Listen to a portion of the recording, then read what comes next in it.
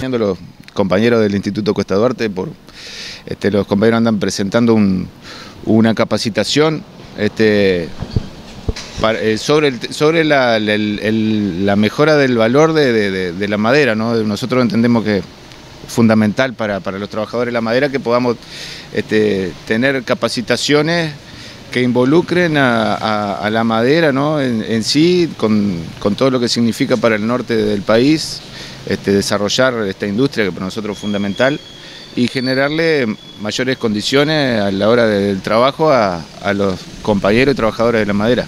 Este, y bueno, este, este proyecto lo, lo, inician ellos, nosotros lo apoyamos, venimos como, como SOIMA a apoyar eh, esta instancia, se va a hacer la presentación luego en el, en el anfiteatro del, Polo Tecnológico a las 18 horas, bueno, la invitación y bueno, ellos venían justamente a invitar eh, de esa instancia, bueno, capaz que desarrollan de mejor manera este, los detalles. Bien, ¿de qué se trata esta capacitación para ampliar en detalles?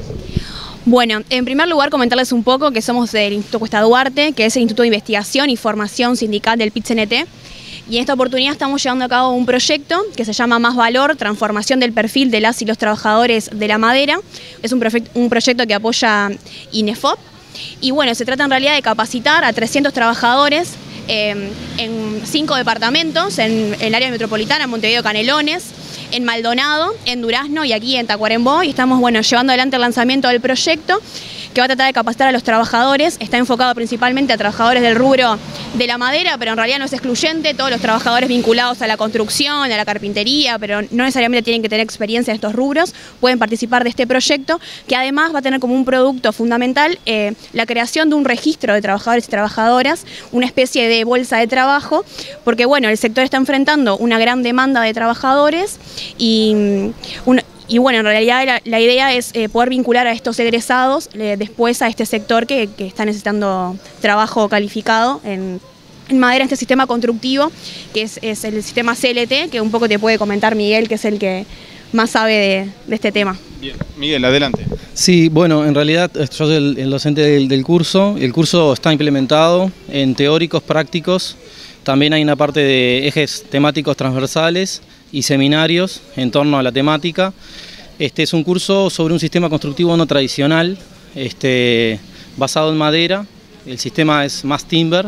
Este, y bueno, eh, lo que me gustaría aclarar es que en realidad esto es algo realmente nuevo y distinto en el país. Digamos que el desarrollo de, de, la madera como material estructural en Uruguay este, es escaso desde el punto de vista normativo y tecnológico. Este, el sistema constructivo está basado en dos materiales principales, que es el CLT y el glulam. Este, el CLT es Cross Laminated Timber, que es digamos, madera laminada cruzada. Se conforman paneles este, de madera maciza, a diferencia de otros sistemas constructivos ¿no? en madera, que es como algo muy liviano. ¿no? hay, mucha, hay como una tendencia a pensar que la construcción en madera es de mala calidad en el Uruguay, porque no tenemos este desarrollo a diferencia de otros países en la región como Chile, Brasil, no se desarrolló mucho. Bueno, esto cambia un poco las cosas. Estamos hablando de que este sistema constructivo y esta planta que se instaló en el Uruguay es la única en Latinoamérica. Este, los, materiales que producen son de conformidad europea, digamos que se produce para exportar. Es un sistema constructivo. La madera, digamos, es un material que es anisótropo y heterogéneo. Digamos que tiene comportamientos distintos, depende del crecimiento, de la parte del, tronco donde se corta, saque la escuadría. Este sistema constructivo lo que hace es uniformizar este comportamiento, estandarizarlo y, por supuesto, eh, dar calidad al material. Este, digamos que es un sistema de elementos estructurales, la base es un sistema de elementos estructurales que son puntuales, lineales o superficiales. Este, digamos que el, CLT es para elementos este, superficiales, que pueden ser muros portantes o entrepisos, y luego los elementos puntuales y, lineales son con glulam. Este, glulam es este, madera laminada encolada. Son vigas de madera conformados por muchas escuadrillas de madera que están alineadas y bueno, eso funciona como un elemento puntual que puede ser un pilar o un elemento lineal que puede ser una viga. Este, el sistema es obra seca, digamos que es un sistema que se ensambla en seco, no, hay una obra húmeda, lo cual este, es muy eficiente desde el punto de vista de los, tiempos de armado. Este, Y bueno, el comportamiento estructural es, un, digamos, como el material es heterogéneo y, anisótropo, eh, digamos que el modelo de cálculo es eh, estadístico. Se ensayan muchas piezas de estos, estos elementos estructurales, se realiza un, digamos, un promedio y se define la resistencia característica del material.